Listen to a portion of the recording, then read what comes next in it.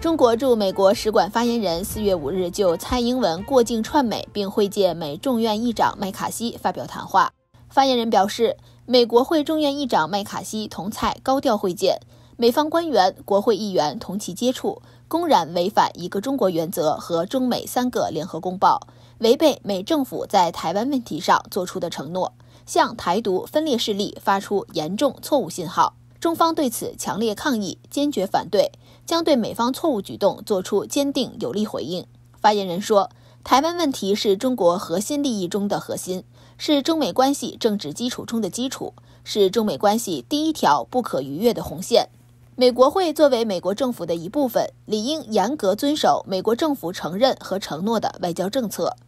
蔡英文赴美过境是假，谋求突破宣传台独是真。民进党当局坚持台独分裂立场，勾连美方，不断进行谋独挑衅，导致两岸关系紧张，危害台海和平稳定，破坏和平统一前景，挤压和平统一空间，是争取和平统一进程上的重大障碍。发言人表示，中方强烈敦促美方恪守一个中国原则和中美三个联合公报规定，切实将美总统拜登多次所作承诺落实到实处。停止提升美台实质关系，停止与台湾进行任何形式的官方往来，停止虚化掏空一个中国原则，两岸统一历史大势不可为。美国劳工部统计局四月六日公布的数据显示，四月一日当周首次申请失业金人数为二十二点八万人，超过预期的二十万，这也是该数据连续第九周超过二十万。另一方面，就业咨询公司 Challenger Gray and Christmas 周四发布的数据显示，三月美国雇主宣布的裁员总数为八万九千七百零三人，较上月增长百分之十五。预计未来将有更多裁员。数据显示，第一季度美国雇主宣布裁员二十七万零四百一十六人，较去年同期的五万五千六百九十六人增长百分之三百九十六。为二零二零年第一季度以来最高单季数字。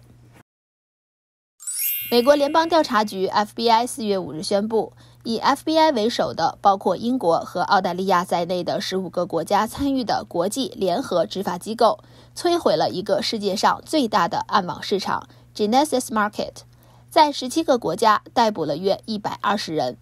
这个暗网市场从全球一百五十万台电脑中。盗窃了超过八千万个用户数据，包括网上银行、Facebook、亚马逊、PayPal 和 Netflix 等服务的密码以及数字指纹。犯罪分子可以利用这些数据，通过欺骗受害者的设备来绕过在线安全检查。英国国家犯罪局表示，该暗网出售的被盗数据最低的卖零点七美元，最高可达数百美元，具体取决于可用的被盗数据。他们出售的个人数据包括账户登录、密码、缓存、搜索历史和自动填写表格数据。除此以外，此暗网使用比特币来支付，避免了执法部门的追踪。美司法部长梅里克·加兰周三在一份书面声明中称，此次行动是对经营或使用这些犯罪市场的网络犯罪分子发出的警告。作为今年三月十日沙伊北京对话的后续。沙特外交大臣费萨尔和伊朗外交部长阿卜杜拉希扬四月六日在北京举行会晤，这是两国外长七年多来的首次正式会晤，并签署一项协议，就两国恢复外交关系并相互在对方重开使领馆的细节安排达成一致意见，向和解迈出重要的一步。在中国积极的斡旋下。中国、沙特和伊朗三国三月在北京发表三方联合声明，宣布沙特和伊朗达成双边协议，包括同意恢复双方外交关系，在两个月内重开双方使馆和代表机构，互派大使。